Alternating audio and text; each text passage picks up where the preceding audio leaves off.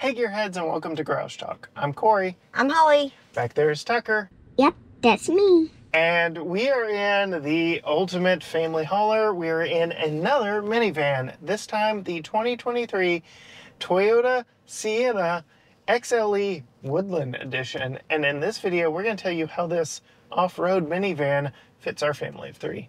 Stay tuned.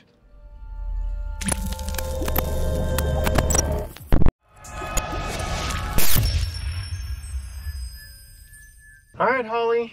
It wasn't that long ago we took the Chrysler Pacifica 3,000 miles up the second half of Route 66. You and I are big fans of the minivan platform. Mhm. Tucker, are you a fan of the minivan? Um, yes.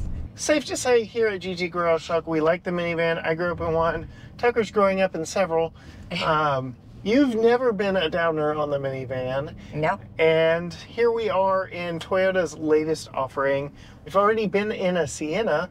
That one was the Platinum Edition You can with leg rests on the back seats, and you rode in style with a friend to Houston. That one. This is a little bit lower on the hierarchy. What are your thoughts of this XLE Woodland Edition? Well, so far I like it.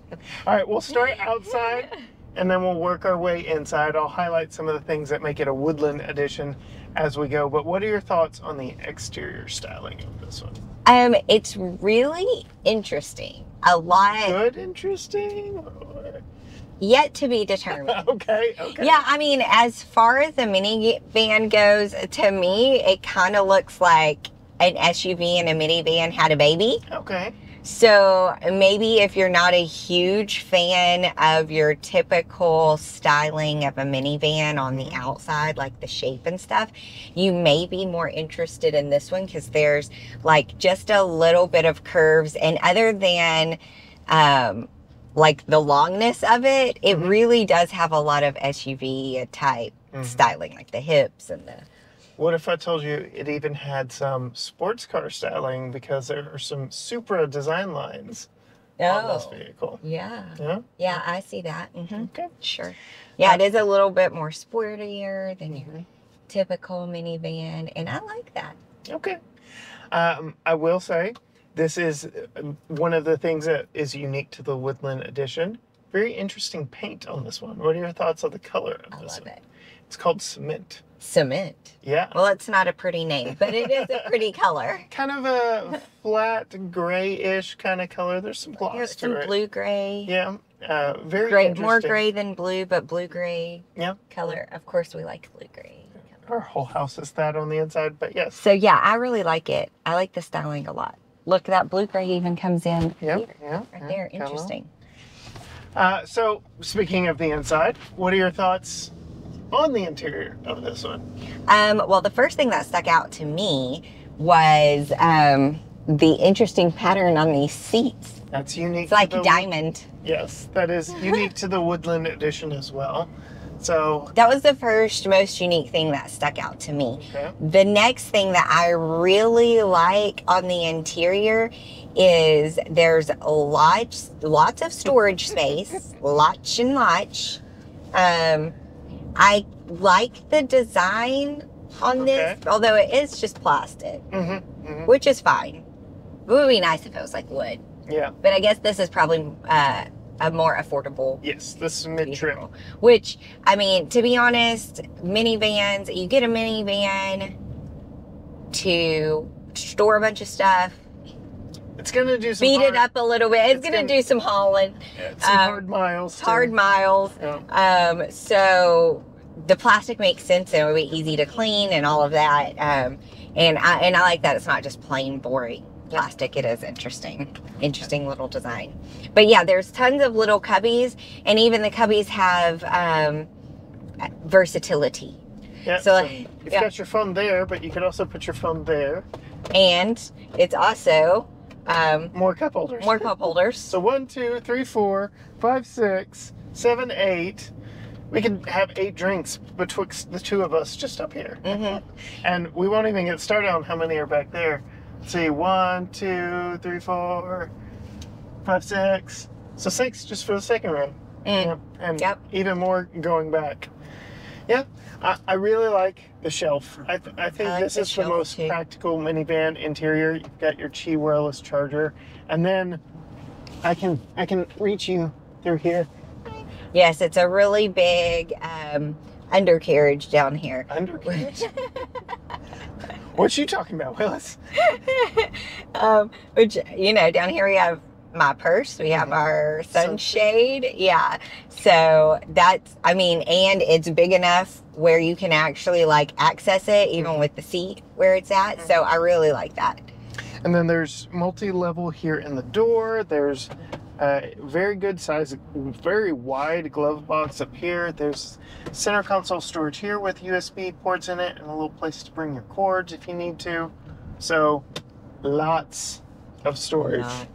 Lots of storage. And even the base of this is rubberized, so things won't roll around or make a lot of noise Right. down there. Yeah. Lots of Very storage. good. Lots of storage. And I even have a little tiny cubby over here Mhm. for something. Lots of USB. It was a little bit too small for my cell phone. Yeah. But you could put like change or Yep. if you have like a parking pass Yeah. or something like Yep. that right there. Lots of USB ports in here. We've got the one Mhm. USB A to interface with the infotainment. We've got uh, two in here already referenced, an A and a B, or A and a C. We've got an A and a C back here. We've got power back here. We've got an HDMI port for Tucker's screen. So Tucker can watch Mhm. TV back there. Oh, Yeah, there's can- a TV right there. yeah, TV. Oh, so fancy. Yeah, look at there. Now there is a problem with this. We don't have the rearview mirror camera, so while Tuck Tucker's watching TV, you're watching the, The back, back of the, TV. Okay. Yeah, and even in this little itty bitty, teeny tiny convex mirror we have for viewing Tucker, uh, can't really see. I could still Tucker, see Tucker even with it down. I can see Tucker right now too. I could see you too. Yeah. Hey, how's it going? Um, good segue. We've got all kinds of buttons up here for the rear hatch and the doors, as well as our sunroof right up above Oh, us. teeny tiny stuff. Yeah, we're- we're getting used to big sunroofs. This one, Yeah. standard sized. But, uh, Standard size. I like the little gear shift too. yeah. And we've got different drive modes here that we can put it in. Let's see, what do we have? Eco and non-eco and sport. Mm. Eco, normal, sport. And you might be able to guess that I'm a fan of the real life gauges. Yes. no digital gauges here, all analog gauges. What are your thoughts on that steering wheel? I like it.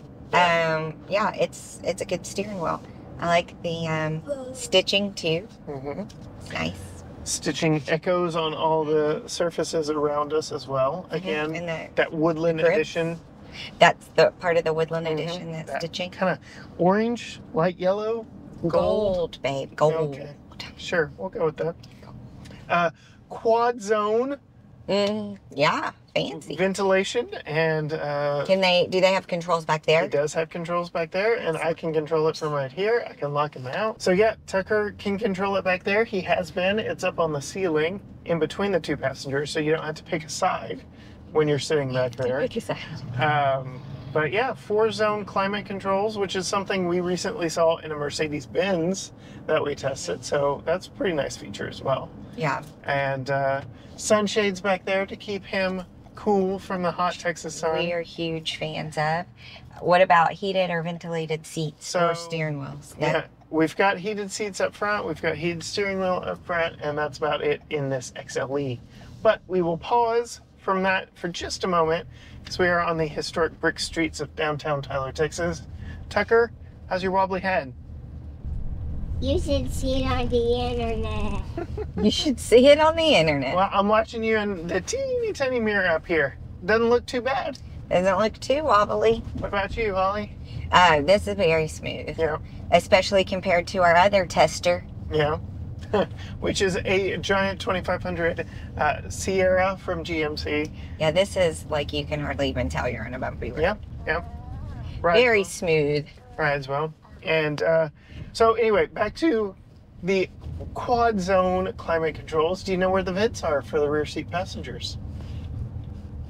Up there. Yeah, in the ceiling, not on the back of the center. Yeah, that's like that's really nice because one of the things that we have difficulty in in cars is with a car seat, they get super hot. Yeah. Um, especially sitting out in the car that. Mhm. when you're out and about, oot and a boot.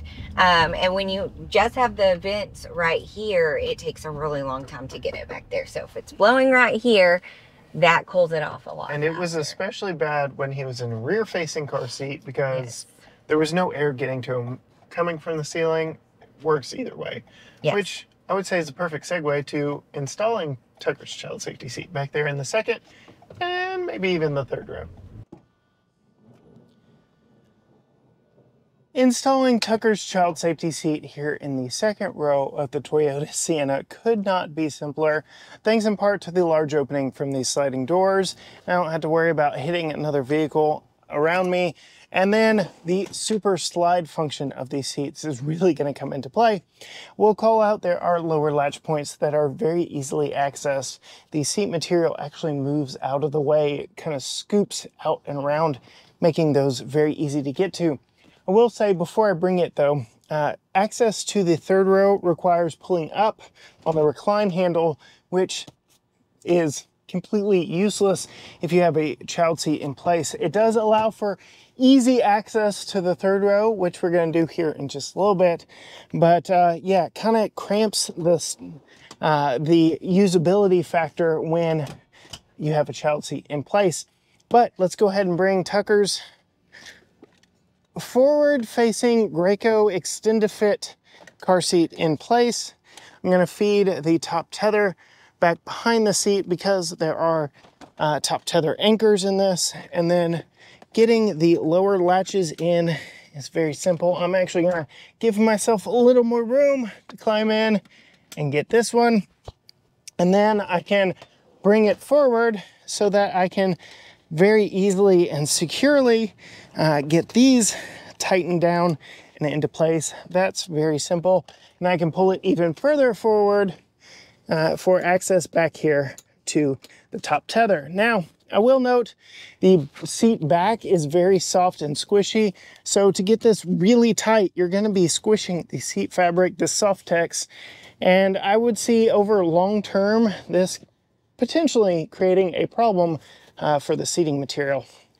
Otherwise, the ease of installation here in the second row is a resounding A for or a plus for installation and a solid A for usability because, well, now I can't fold the seat forward for the easiest access to the third row, but it still slides far enough and there is that center pass through to get into the back. Now, let's take this out here and see what it's like putting it in the third row. Before I bring Tucker's car seat in, I did want to show you the third row of seats. Not typical of third rows, but we do get lower latch points here. So we have two on the uh, driver's side, one here in the center, and two on the passenger side. So that's a very nice touch. And I can show you back in the back, you get a uh, top tether strap down location in all three seats. And then for that center seat, you do get a ceiling mounted seat belt right there. So you can pull that down and attach it into place right here if you really need to attach a child seat or have someone ride here in the middle. But let's go get Tucker's car seat and see what it's like to install. Back here in the back, I will call out the headrests need to be popped back up and do allow for a little bit of room to pass that top tether through. These seats also recline uh, via this strap right here. So you'll need to find the perfect angle of that seat back once we get the uh, child seat here in place. But let me go get that.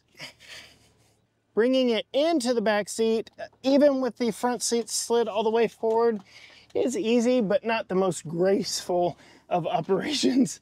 So I can get back in here. I'm gonna throw that top tether strap back behind so I don't have to worry about that anymore. And then it looks like I've already got the seat in the proper recline position.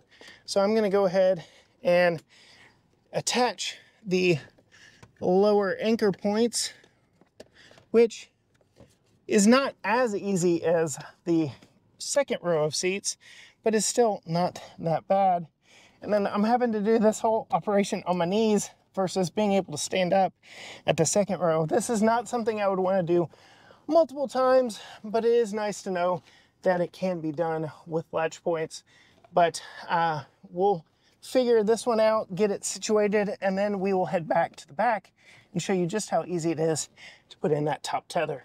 After doing my best to crawl out of that back seat, coming back and opening the rear hatch makes it very simple to attach that top tether because, well, it's not that far away from me. So simply pull it through, attach it right there, and tighten it up. Now, you're gonna get some of that same seat action here in uh, the third row as you did in the second, but it's not quite as drastic uh, when tightening this up. It is gonna be a two-handed operation, but a very easy install even here in the second or third row of seats in the Toyota Sienna. So good job, very nice. Can get lots of car seats in this minivan. Really can't put Tucker's seat anywhere in this. Those second row seats, not so child friendly, they kind of clamshell up. But you could put them in the back. I'm surprised he hasn't asked to ride back there. Maybe he doesn't know. but uh, that third row of seats folds into the floor very fat, flat. And then the second row of seats are the super slide seats.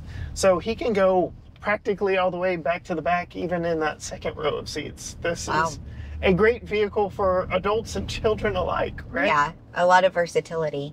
And one feature we have to talk about in this one are the kick to open side doors. The possible kick to open, which I have yet to get to work. Tucker gets it to work just like that. So maybe just like on the Benz where he taught you how to open the sunroof, he can teach you how to open the doors. Come on. Have you sat back there in the third row seat? How how comfortable is it? It's all right. It's all right. That's okay.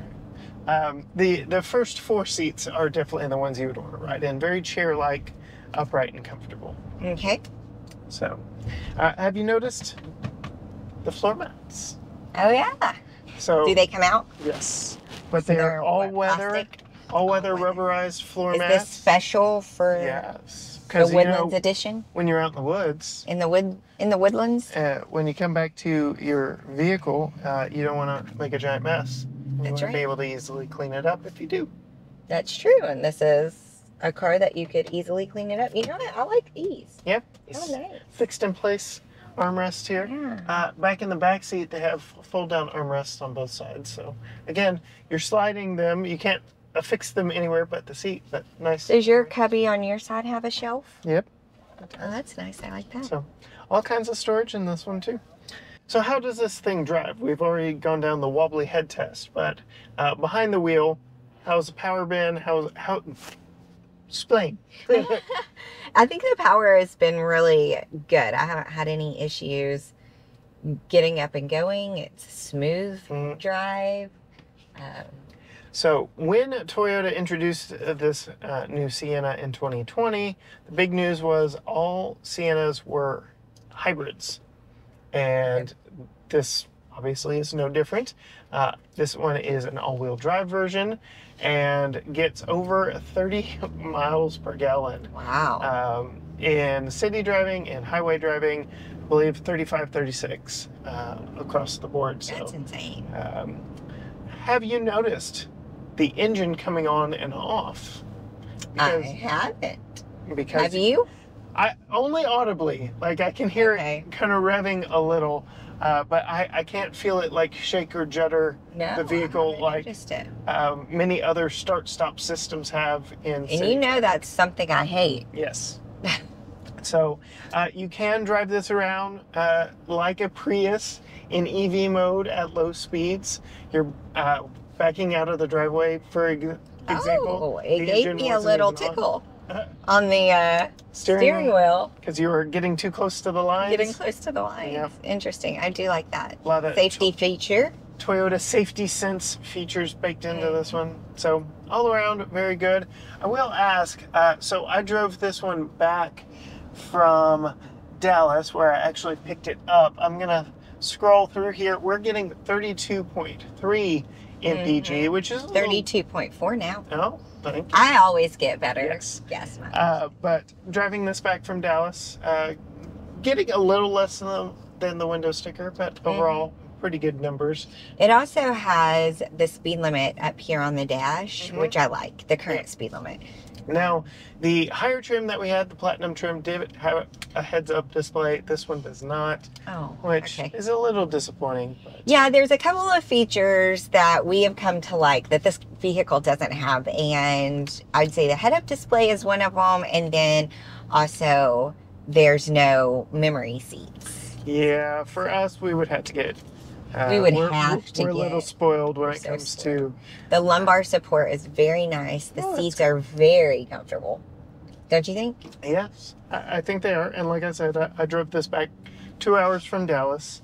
Um, I'll, I'll pulled up the window sticker 35 MPG City, 36 Highway, 35 combined. So, Yeah. again, getting a little less than that in our time with it, but otherwise, it's a very comfortable ride. Very easy. Uh, I noted in driving around, the steering is light, but not so much that you feel like barely turning the wheel, you're going to turn into something. Like, it does not Yeah. feel like a heavy vehicle. It does not feel like a heavy vehicle, no. It it doesn't feel like I'm struggling at all. And to be honest with you, if I didn't know it was a minivan, I mean, I would ha- probably have to consciously remember that it was a minivan, so I'm not like cutting people off in traffic. Okay.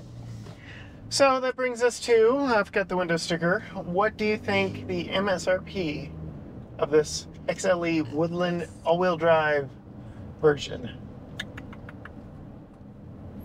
Forty. No, but close. Okay, higher. Yes. Fifty-two.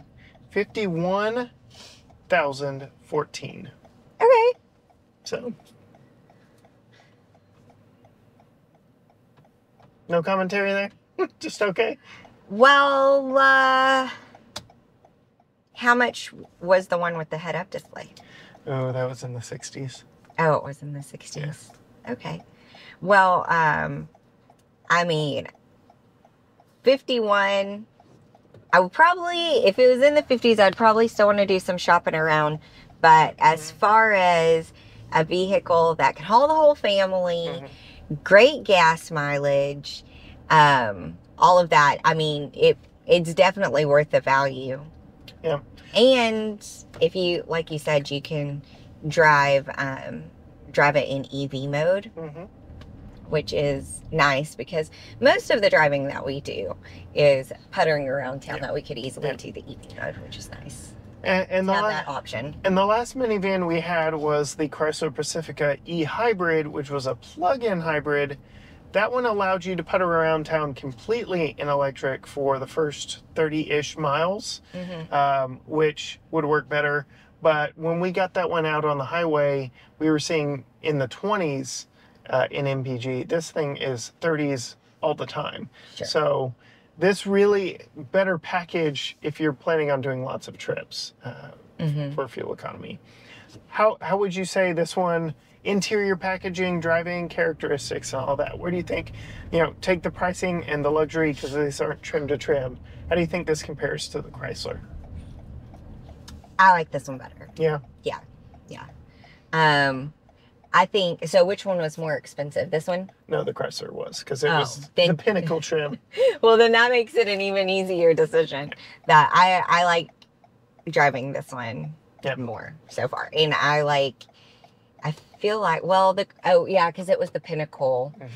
That styling was really pretty and really luxury, but the seats are just not the most comfortable. They were a little firm. These are They're- softer. firm. These are softer. Um, yeah. Even even the way it drives, I like it better, even before knowing the price difference. And on that note, if you want to see more from Holly, see some behind the scenes stuff from her, you can go find her on Facebook and Instagram at Female Consumer. You can find all things GT Garage Talk at GT Garage Talk on Facebook, Instagram, Twitter, X, Threads, YouTube, all the things again at GT Garage Talk, or you can go to gtgaragetalk.com. But as for us in the Ultimate Family Hauler, the Toyota Sienna Woodland Edition. Until next time, gearheads. Bye.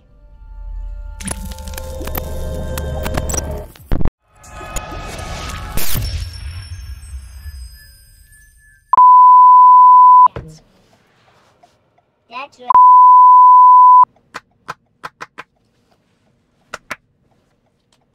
We all ready? I'll take the silence as yes. I'm ready. Uh, I'm not ready. Okay, I'm ready. All right, back here. Oh, fart. My knee.